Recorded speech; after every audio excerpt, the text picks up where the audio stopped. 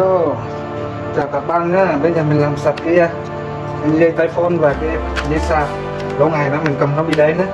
Mồ hôi của mình á Giờ đấy mình hòa một ít nước lăn và một ít nước Spirit nha Spirit nha Hay là coca cola được một chút thôi.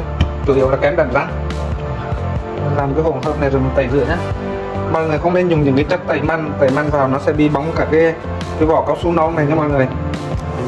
Nhất là xăng xăng, hay là xăng thơm. Xà phòng và sau khi mình tẩy rửa xong thì mình phải dùng nước lăn để lau sạch qua đi nhé. Ở đây mình sẽ tẩy cái này cho mọi người xem. Đây mình vừa lau xong. Đây nó bằng như thế này, dùng cái khẩu trang cũ cũng được nha mọi người. Ừ. Mọi người thấy đấy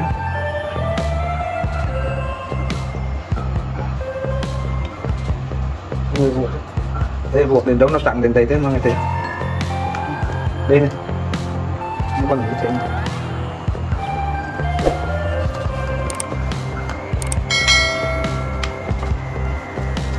Đây thầy tặng mừng với sạch sẽ chứ đấy trước đấy mình dùng à, xăng thơm á. Thì cả thứ mình tẩy rồi giấy nó bị bóng thôi hết. Thấy cái cách này rất là hiệu quả. Mọi người thầy tặng nhé.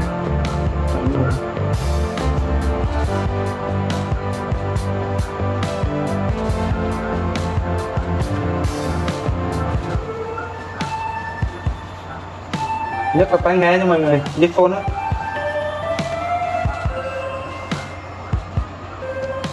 Rồi mình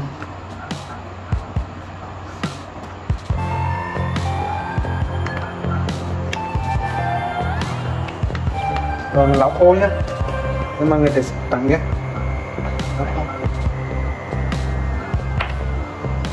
rồi, cho cái khăn nữa phải lau khô đi là ok nha mọi người. Cái dây này tay phone được vừa ờ, tẩy xong này. Ai mọi người thấy hay thì xin cho một like, subscribe nhá. Bye bye, chào mọi người.